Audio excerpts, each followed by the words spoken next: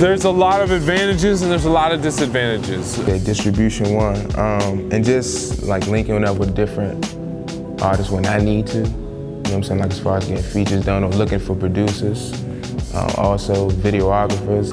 Distribution is another big thing too, you know. As an independent artist, I'm doing a lot of it, I'm doing it all myself. I try and work with people and teams and groups, but still it's challenging because I'm the person at the end of the day who's going to Disc Makers and getting up, you know, a thousand copies printed up of my album, then reaching out to all these independent stores and saying, hey, put my uh, album up on your, your site or promote this for me, you know? And that takes up a lot of time. That's like a full-time job in and of itself.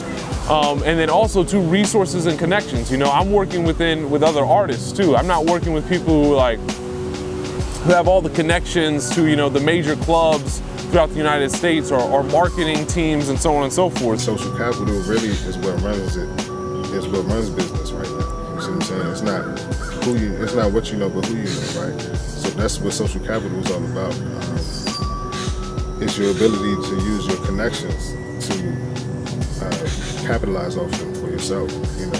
The advantages include like I can make any decision, I can I'm my own boss. I'm looking into, I can make whatever decision I want, whether it's from the lyrics or shows I want to do to marketing, promotion, so on and so forth.